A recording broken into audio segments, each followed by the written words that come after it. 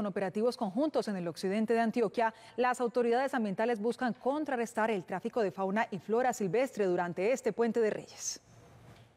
142 vehículos fueron inspeccionados por la Policía Nacional Corantioquia y Corporaba en la vía Sopetranto-Nusco en las últimas horas con el propósito de preservar los recursos naturales. Realizando diferentes operativos para contarle a la ciudadanía y a la comunidad en general la importancia por la protección, cuidado y conservación de nuestros recursos naturales, a que no trafiquen, no compran, no vendan fauna ni flora. A través de esta educación ambiental, a través de estos pares y siga, son medidas necesarias para que se puedan concientizar de la importancia del no tráfico, de la importancia de proteger nuestra naturaleza, nuestras especies.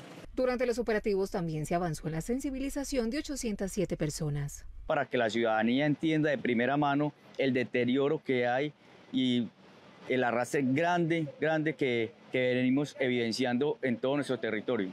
Adicional a los operativos, las autoridades plantearon junto con los alcaldes de la región estrategias para trabajar de manera articulada en la conservación del patrimonio natural de la región.